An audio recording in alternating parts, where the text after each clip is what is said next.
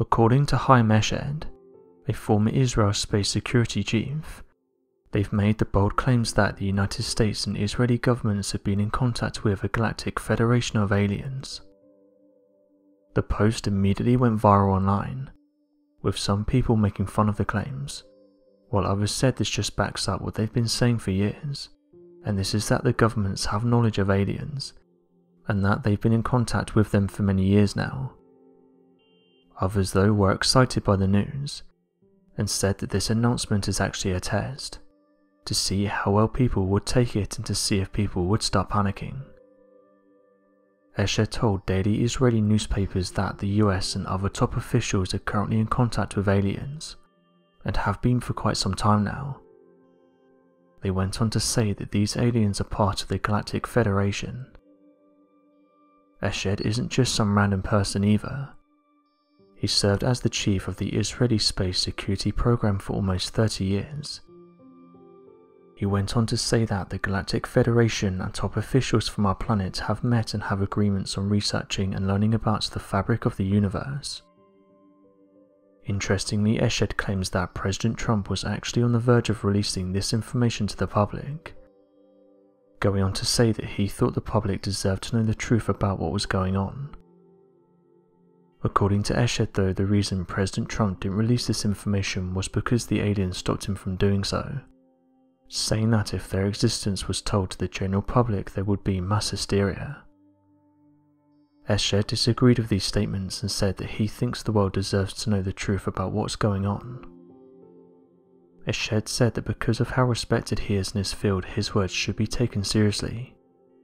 He went on to say the following If I'd come up with what I'm saying five years ago, I would have been hospitalized.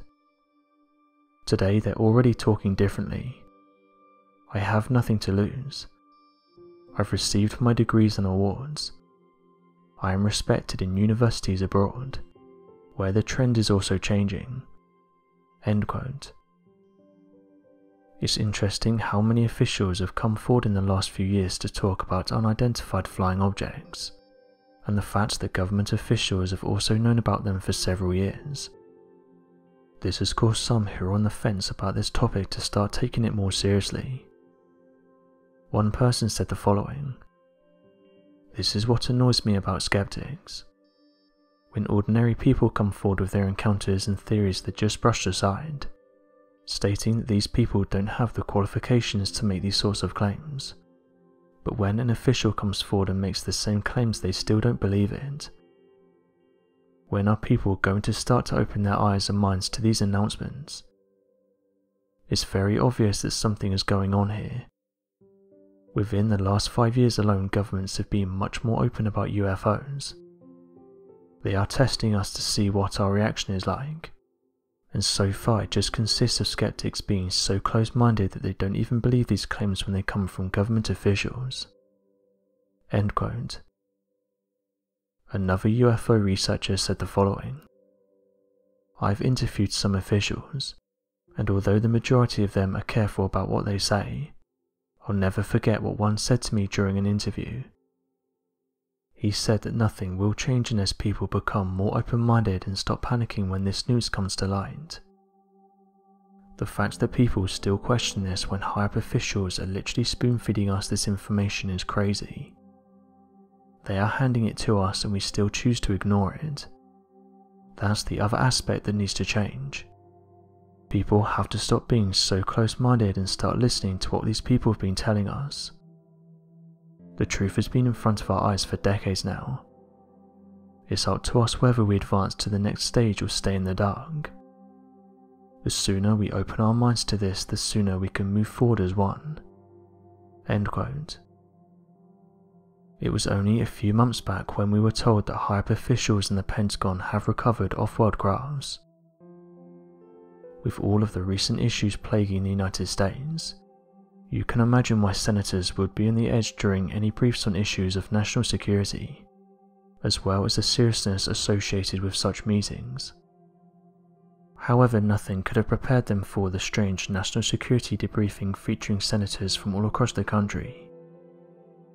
They alerted them that the United States Defense Department claims to have captured a craft not from this world, the United States Department of Defense will often hire private contractors for the purpose of independent review, labour otherwise not available under the government's control, or just for the express purpose of increased personnel without the legal responsibility of said hired labour, with the freedom to engage in plausible deniability. For astrophysicist Eric W. Davis, this appears to be the primary reason as to the purpose of his hiring for a clandestine Pentagon UFO project, known as the Unidentified Aerial Phenomenon Task Force.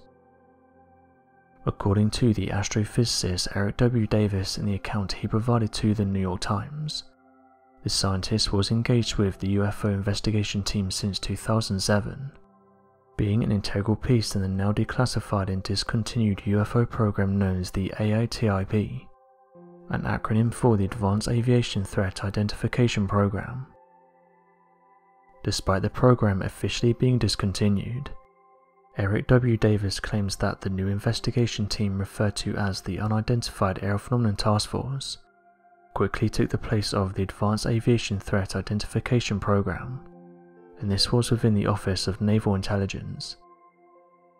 A declassified Senate committee report surrounding the program also detailed that the purpose of the team was to completely standardize the collection and the reportings on all sightings of unexplainable aerial vehicles across the United States.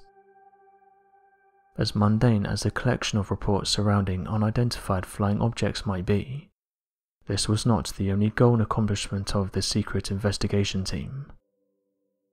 According to Eric Davis, the astrophysicist claims that the United States Department of Defense is in possession of a recovered off-world craft that is verifiably not made on our planet. His story detailed to the New York Times claims that Davis was tasked with giving classified briefings to Defense Department agencies, the Senate Armed Services Committee and the Senate Intelligence Committee last October during multiple instances of recovered materials from extraterrestrial events. Davis details that he was unable to determine the source of the materials that made up the recovered artifacts, most likely being off-world metals and materials that could not have been terrestrial in nature. So what do you make of the claims that our governments are in contact with aliens? And what do you make of the idea of there being a galactic federation be sure to leave your questions and answers in the comment section below and help us to grow this community while working to solve these unexplained mysteries. Thank you for watching and don't forget to subscribe for more videos.